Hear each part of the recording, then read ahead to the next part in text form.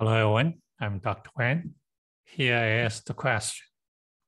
If set S equals 1 square, 2 square, until 99 square,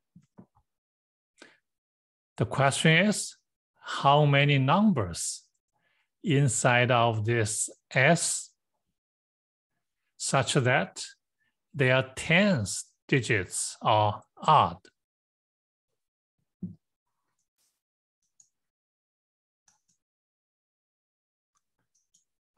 For any number n squared inside of set S.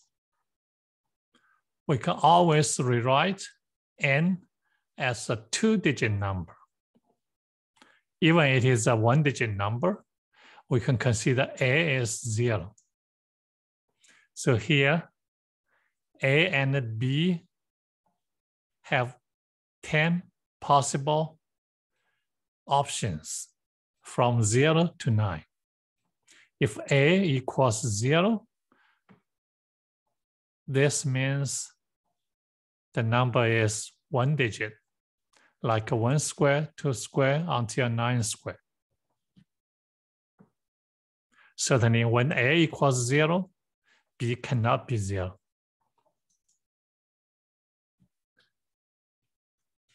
Let's consider AB square equals 10a plus b squared. Why? The tenth digits is 10 times the digit a plus one digit b. Simplify the right-hand side. We have 100 times a squared plus 20 a b plus b squared.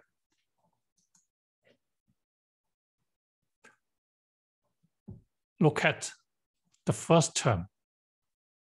100 times a squared. a is 0. This part is 0. That means the 10th digit for this part is 0, which is even. If a is not 0, the 10th digit is zero because the last two digits for this number is zero, zero. 10th digit is even. Similarly to this part, if A or B, one of them is zero, this part is zero. Zero, zero, 10th digit is even. If both are not zero. The 10th digit is two times something, which is even. This implies the 10th digit of 100a squared and 20ab both are even. We have the important result. The 10th digit of AB squared is odd if and only if the 10th digit of B squared is odd.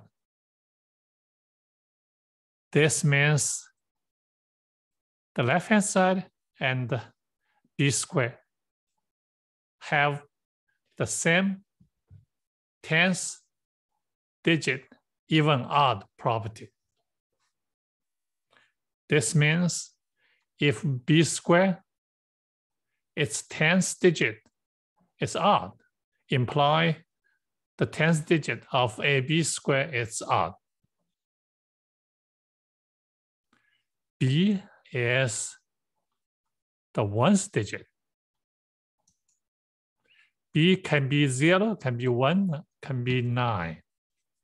Check all those b squares only this and this both have the 10th digit, which are odd. Here's one, here's three. All others, zero, that's zero, zero. One is zero, one, zero, four, zero, nine, all tens digits are even. So here you can see two is even, four is even, six is even, eight is even. We have the conclusion. Only if b equals four, b equals six, the tenth digit of b squared is odd.